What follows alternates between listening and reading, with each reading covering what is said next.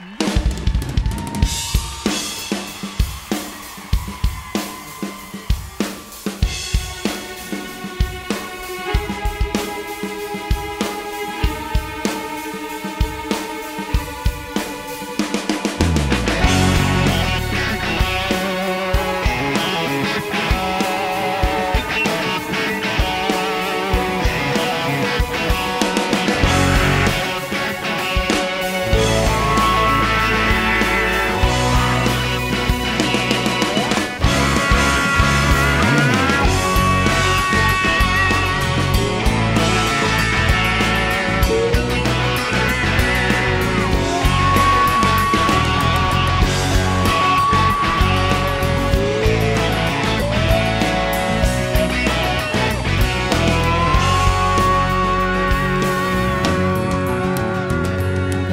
remember it all very well. Looking back, it was the summer I turned 18. We lived in a one room rundown shack on the outskirts of New Orleans. We didn't have money for food or rent, to say the least, we were hard pressed. Then Mama spent every last penny we had to buy me a dancing dress. Well, Mama washed and combed and curled my hair, and she painted my eyes and lips. And then I stepped into a satin dancing dress. I had a split from the side beat up to my was red velvet trimming and it fit me good. And standing back from the looking glass, there stood a woman with a half-grown kid. It stood. She said, "Here's your one chance, fancy, don't let me down." She said, Here's your one chance, fancy, don't let me down.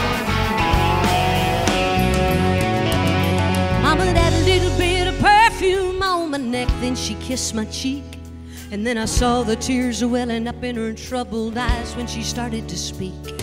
She looked at a pitiful shack and then she looked at me and took a ragged breath. She said, Your pa's run off and I'm real sick and the baby's gonna starve to death. She handed me a heart-shaped locket that said thine own self be true. And I shivered as I watched the roads crawl across the toe of my high shoe. Sounded like somebody else who was talking, asking, Mama, what do I do? Said, just be nice to the gentleman, fancy. They'll be nice to you. She said, here's your one chance, fancy, don't let me down. She said, here's your one chance, fancy,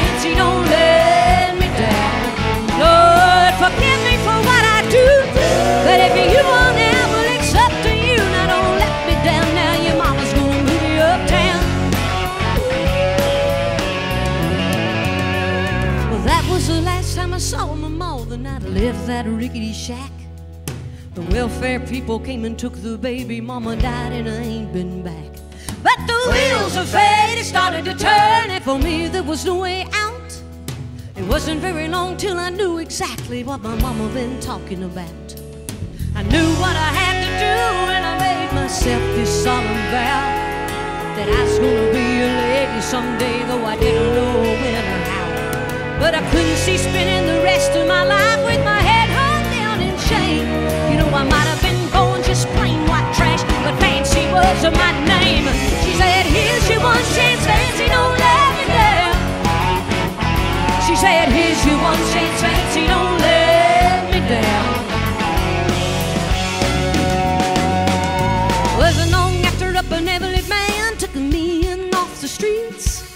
And one week later, I was pouring his tea in a five room hotel suite. Yes, you were. I charmed a king, a congressman, and an occasional aristocrat.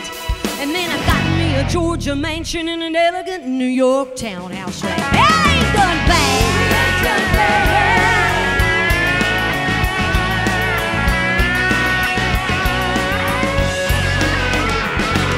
Now in this world, there's a lot of self-righteous hypocrites that call